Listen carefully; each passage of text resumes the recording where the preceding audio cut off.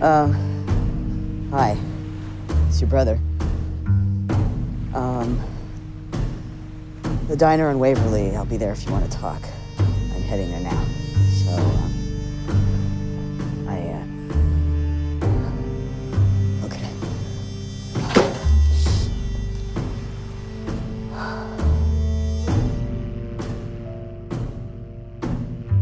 Suicide prevention hotline. Hold, please.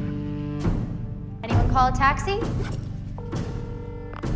You've reached the suicide prevention hotline. Interesting. Hello? Hello?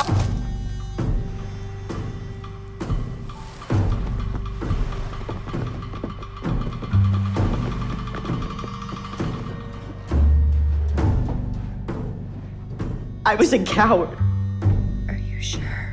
I don't remember everything. It just everything comes back to me in these pieces. I ran away. I why did I run away?